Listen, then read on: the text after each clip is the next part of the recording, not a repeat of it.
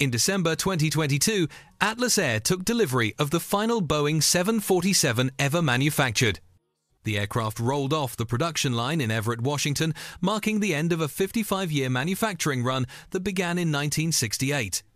What was once the world's most recognizable commercial aircraft now faces a stark reality. Airlines have retired their 747 fleets at unprecedented rates, and the few remaining passenger examples operate on limited routes with uncertain futures. The Boeing 747 transformed global aviation when it entered service with Pan American World Airways on January 22, 1970. The aircraft's distinctive hump and four engine configuration made it instantly recognizable. At its peak in the 1990s, over 400 passenger 747s operated simultaneously across the world's major airlines. By 2025, fewer than 20 passenger variants remain in commercial service. British Airways, once the largest 747 operator outside the United States, retired its entire fleet of 31 aircraft in October 2024. The airline cited rising maintenance costs and fuel inefficiency as primary factors. Each 747-400 burned approximately 12 litres of fuel per kilometre compared to 8 litres for the Boeing 787 Dreamliner on equivalent routes. Qantas operated its final 747 passenger flight on July 22, 2020, ending a 49 year relationship with the type. The Australian carrier had maintained a fleet of 65 different 747s throughout its operating history. Lufthansa followed in 2021, retiring all passenger 747s except for a small number of 747 8 variants used exclusively on high demand routes between Frankfurt and select Asian destinations. Delta Airlines flew its last 747 passenger service in December 2017, transitioning entirely to more fuel efficient twin engine aircraft. The airline reported operational cost savings of approximately 18% per seat mile when comparing 747 operations to Boeing 777-200 LR flights on trans-Pacific routes.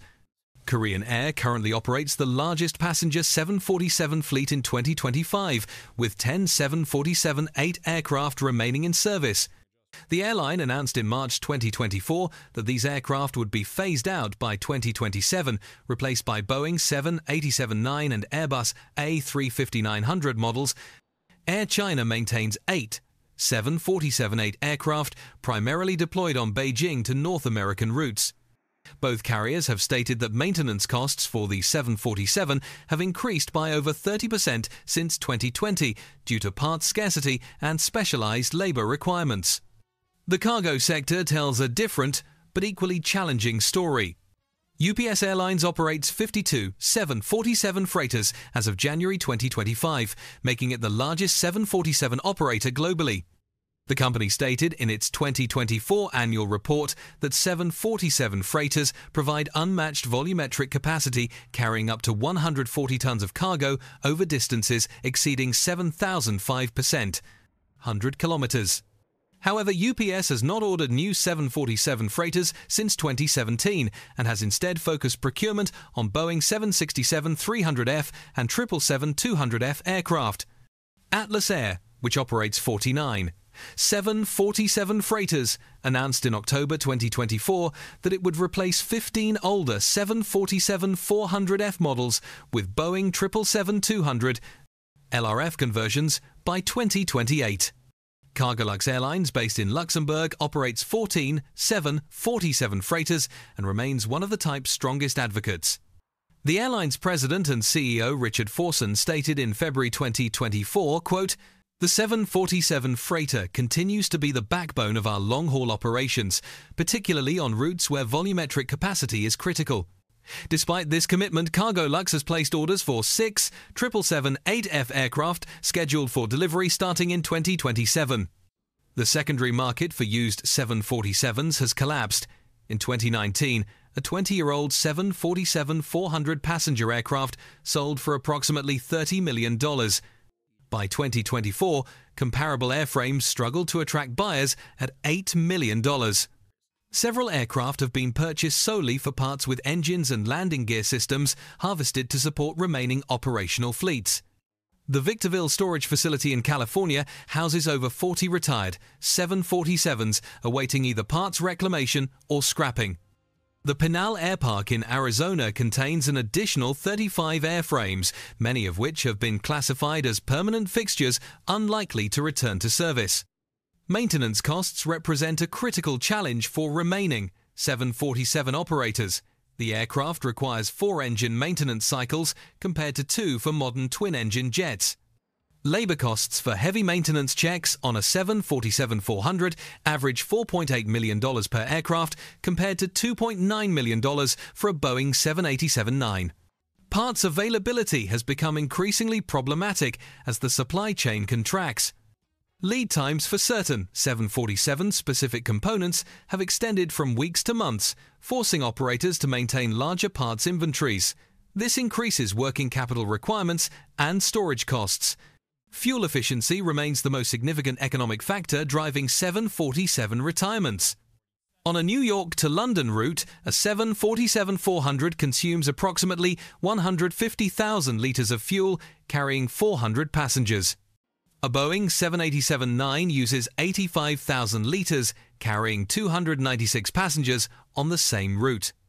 When calculated per passenger, the 787 delivers 40% better fuel efficiency. At 2024, jet fuel prices averaging $3.10 per gallon. This translates to operational savings exceeding $50,000 per round trip flight. Noise regulations have also contributed to the 747's decline. The aircraft fails to meet Stage 5 noise standards implemented by the International Civil Aviation Organization in 2018. Several European airports, including Amsterdam, Schiphol, and Frankfurt, have imposed higher landing fees on four engine aircraft specifically targeting the 747. These surcharges range from $2,000 to $5,000 per landing, making the aircraft economically disadvantageous on already tight margin routes. The Boeing 747 program produced 1,574 aircraft across all variants between 1968 and 2023. The 747-400 variant accounted for 694 deliveries, making it the most produced version. The final variant, the 747-8, saw only 155 aircraft delivered with just 51 passenger models sold. Boeing ceased taking new 747 orders in 2020 after years of declining sales. The program's official termination was announced in July 2020, though production continued until 2023 to fulfill remaining contracts. Aviation historians note the 747's technical achievements remain impressive despite its commercial obsolescence, the aircraft's upper deck provided airlines with unprecedented flexibility in cabin configurations. Its range of 13,450 kilometers on the 747-400 ER variant enabled non-stop service on previously impossible routes. The 747's introduction lowered transoceanic airfares by an estimated 60% between 1970 and 1980, democratizing international air travel. Museums and aviation preservation groups have acquired select 747 airframes for static display. The Museum of Flight in Seattle houses the first 747 prototype, registered as N7470. Delta Flight Museum in Atlanta displays the airline's first 747 ship, 6301. These preserved aircraft serve as reminders of an era when four engine jets dominated long haul aviation. The remaining operational 747s face an uncertain timeline, with most analysts predicting complete retirement from passenger service by 2030. The cargo market may sustain small numbers beyond that date, but economic pressures continue mounting. What remains is a diminishing fleet of aircraft whose operational reality no longer aligns with modern aviation economics. The story of the Boeing 747 represents more than just the end of an aircraft model.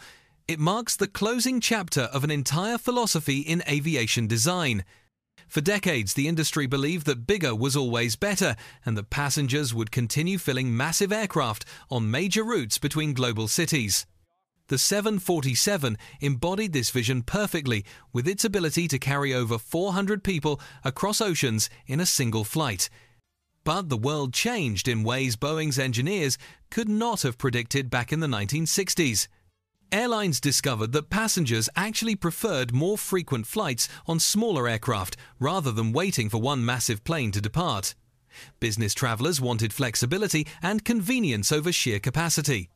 Meanwhile, fuel prices climbed steadily, making those four thirsty engines increasingly expensive to operate every single day. The 747's retirement teaches us that even the most revolutionary innovations eventually become outdated. What seemed impossible to replace three decades ago now appears almost quaint compared to modern twin engine jets that fly just as far while burning significantly less fuel. The aviation industry moves forward relentlessly, and nostalgia cannot overcome basic economics. The Queen of the Skies had her moment in history, and that moment has simply passed.